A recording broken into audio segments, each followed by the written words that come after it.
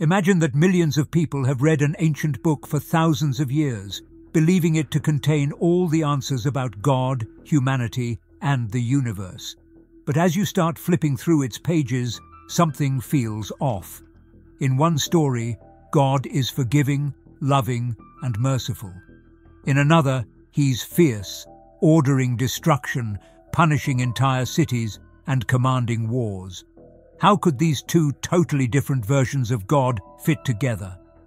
For centuries, some groups held the belief that these two aspects of God were not the same entity. Ancient thinkers, like the Gnostics, believed that the God who punished and destroyed wasn't the true God at all, but a lesser, flawed being trying to control humanity. They perceived the true as a hidden, unknowable creator, full of light and truth, surpassing the depictions in these wrathful stories. They believed that the current form of the Bible concealed this truth from us, leading us to worship a controlling God rather than a liberating one. The Council of Nicaea was a powerful gathering that took place over 1,600 years ago. Led by the Roman Emperor Constantine, his goal wasn't about understanding God, but unifying an empire. So, church leaders gathered to decide which parts of the Christian story would stay and which would go. They picked the stories that would make people follow a certain way and left out texts that might make people ask too many questions or, worse, start thinking for themselves. We buried or even destroyed texts like the Gospel of Thomas, which depicts a Jesus focused on inner wisdom, not just obeying rules. The Gospel of Mary Magdalene, which suggested Mary was a close disciple with her own insights, also did not survive. It seems as though these texts were deemed too dangerous or too liberating for people to read. For years, these lost texts remained hidden, sealed in jars or buried in caves, until archaeologists found them centuries later. They describe a God that's not about control, but about personal discovery and spiritual freedom. They suggest that Jesus came not to die for sins, but to help humanity break free from the darkness of a false, controlling God. Imagine the shock of early Christians who believed these things. It's no wonder they were called heretics and silenced. In this Bible, we see these two distinct aspects of God, one as the loving, merciful guide, and the other as a powerful, punishing force. On one side, we see the God Jesus spoke about in the New Testament, a being of love, compassion, and forgiveness. But on the other side, the Old Testament presents Yahweh, a God who demands loyalty, instills fear, and isn't afraid to destroy entire cities or wipe out civilizations.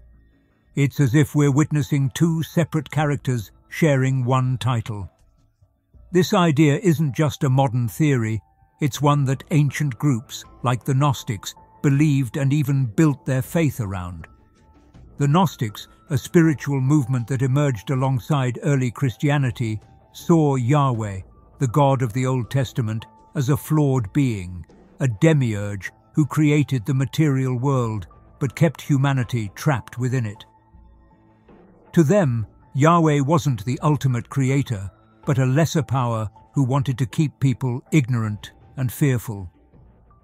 In the Gnostic view, true divinity wasn't about wrath and control, but was something far greater, something beyond the pages of the Old Testament. They held the belief that the true God awaited discovery as a hidden, unknowable force of light and wisdom. We all face moments when life seems like it will crush us and finding answers seems impossible. In those moments, having more understanding, clarity and guidance can make a difference, and that is exactly what Banned Secrets. The lost knowledge of Jesus offers a path to clarity and peace through the hidden teachings of Jesus. If you are seeking clarity and hope, this ebook could be a lifesaver for you. The best part is, you can download it as a gift from the first comment posted. This ebook could be exactly what you need today. One of the Gnostic texts, the secret book of John, offers a glimpse into this alternative view. This text portrays Yahweh as a lower being who, out of ignorance, claimed himself as the sole God, unaware that he was just one part of a much larger divine reality. According to this belief, humanity's true mission was to wake up and recognize this hidden truth, freeing themselves from his control and seeking a higher understanding. This radical idea painted Yahweh not as a God of love, but as a figure who kept humanity trapped in a world of materialism, fear, and suffering. Historically, these beliefs didn't sit well with the leaders of early Christianity. By the 4th century, as the Church grew more powerful, leaders became increasingly focused on unity and authority. In 325 AD, Roman Emperor Constantine saw the potential of a united church to stabilize his empire. So he convened a gathering of church leaders known as the Council of Nicaea. This council wasn't just about religious faith, it was a political strategy. Constantine wanted a standardized version of Christianity that would unify his people which meant eliminating conflicting beliefs and texts that could threaten the Church's authority. At the Council of Nicaea, leaders made several decisions that would shape Christianity for the next 2,000 years. They defined the Nicene Creed, a statement of faith that established Jesus as both fully divine and fully human, setting the foundation for Orthodox Christian beliefs. This moment also solidified the idea of the Trinity, Father, Son and Holy Spirit, as one. Which books to include in the Bible was even more important. Texts that didn't align with the Council's version of Christianity were excluded, labelled as heretical, and banned.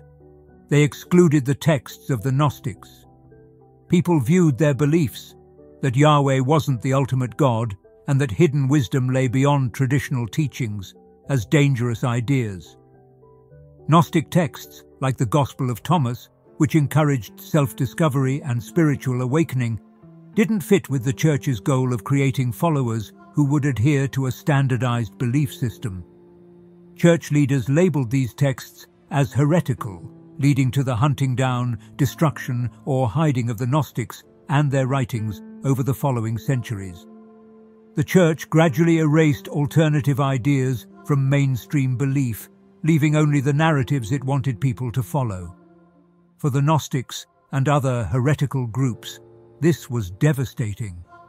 They believed they possessed a fragment of the authentic narrative, yet the powerful prevented its dissemination. Centuries of orthodox teachings defined what it meant to be a Christian, burying these forbidden texts over time. In the early centuries after Jesus' death, different Christian groups believed in different versions of his teachings. Some of these groups, like the Gnostics, followed ideas that emphasized personal discovery, inner wisdom, and spiritual freedom. However, the Church's emerging structure, centered on unity, authority, and a strict set of beliefs, did not align with these ideas. So, over time, church leaders worked to silence and erase these alternative views. One of the key decisions made at the Council of Nicaea was to exclude certain books from the Bible, texts that offered ideas that didn't align with the Church's teachings. These texts suggested that Jesus came not just to save humanity, but to awaken people to the divine spark within themselves. They emphasized personal enlightenment and suggested that followers didn't need an institution to connect with God, something that could potentially undermine the Church's authority. These lost books challenged the traditional view by promoting ideas that people could find God within themselves, outside the Church's control. If people believed that they didn't need church leaders to guide their relationship with the divine, the entire structure of the Church's power could crumble. The Church labelled these texts as heretical to maintain control, viewing them as false teachings that could mislead people. One tragic example of this is the story of the Cathars, a peaceful Christian group in southern France who held beliefs similar to the Gnostics. The Cathars believed that the material world was flawed and that true connection with God came from the spiritual, not the physical. They rejected the Old Testament's portrayal of a wrathful God, and this put them at odds with the Church. In 1209, Pope Innocent III declared a crusade against the Cathars, leading to the brutal Albigensian Crusade, which wiped out entire communities in the name of defending the Church's version of the truth. Throughout this time, the Church also targeted mystical and spiritual texts that didn't fit its strict doctrine. The Church either destroyed or concealed libraries of ancient manuscripts, leading to the loss of many texts to history. It wasn't until the 20th century that some of these ancient writings began to resurface. Egypt discovered a collection of Gnostic texts known as the Nag Hammadi Library in 1945, which included works such as the Gospel of Thomas and the Gospel of Philip. These texts provide a glimpse into the diverse beliefs of early Christianity, buried and forgotten for centuries. The Church's efforts to control spiritual knowledge weren't just about preserving religious truth, they were also about maintaining power. By controlling the narrative, the church leaders could ensure that they remained the gatekeepers of salvation, with the power to decide who was a true believer and who was a heretic. This structure of control kept people dependent on the church for their understanding of God, limiting their access to other spiritual ideas. Gnostic teachings did not limit access to the divine to priests or religious leaders. They believed that each person carried a piece of the divine within them, something they called a divine spark. This spark was a hidden part of God that existed within each person, but most people didn't realize it was there. The Gnostics taught that humanity's true purpose was to awaken this divine spark, break free from the limitations of the material world, and connect with the higher realms of knowledge and spiritual truth. For them, Jesus was more than just a sin-forgiving figure. He served as a guide, awakening humanity to their true potential and the power within. This idea of a divine spark was dangerous for the Church because it suggested that people didn't need an institution to reach God. Imagine the Church's reaction to a teaching that said you could find enlightenment within yourself without relying on church rituals or doctrines. This would mean that every individual had direct access to the divine with no need for intermediaries. For the Church, this was a direct challenge to its authority and structure. For the Gnostics, awakening wasn't just a matter of believing in a certain doctrine, it was an internal journey a process of gaining hidden knowledge, or gnosis, about the true nature of reality. Traditional teachings or dogma did not provide this knowledge. Personal experience and deep understanding did. In contrast, the early church emphasized doctrines, rituals, and obedience. The church provided specific guidelines on what to believe, how to worship, and whom to follow. By focusing on these external structures, the Church could maintain control and ensure that all believers followed the same path. The Gnostic idea of inner awakening, however, was deeply individualistic and posed a threat to this controlled system. If each person could find God within themselves, then religious leaders wouldn't be the gatekeepers of salvation, and the Church's authority would weaken. If you're appreciating this deep dive, if you're feeling inspired by these ancient mysteries and hidden truths, consider showing your support with a super thanks. By clicking that button, you're contributing to the continuation of this journey, fostering the production of more thought-provoking content, and igniting the quest for knowledge that defies conventional wisdom. The story of these hidden texts, silenced voices, and the lost teachings about spiritual awakening isn't just some ancient mystery. It serves as a reminder that powerful institutions often bury or reshape the truth to fit a particular narrative. The Church's effort to control beliefs about God, the soul, and our purpose in life was a way to keep people focused on obedience and tradition rather than questioning or self-discovery. But these hidden teachings that have resurfaced reveal something incredible. That spirituality might be less about following a set path and more about looking within, finding our own way, and discovering what we each believe about the divine. Each person carries within them a spark of the divine, a piece of the true God that can awaken through self-awareness and understanding, according to the Gnostic texts. These writings prompt us to contemplate that spiritual truth is not a gift, but a discovery you make for yourself. This idea can feel powerful, even liberating, because it tells us that the answers we're seeking aren't hidden in an ancient book or controlled by a religious authority. They're right here, within us. Think about what that could mean for our lives today. Each of us, possessing this divine spark within us, bears the responsibility to explore our own understanding, surpass conventional teachings, and establish a connection with the truth through our personal experiences.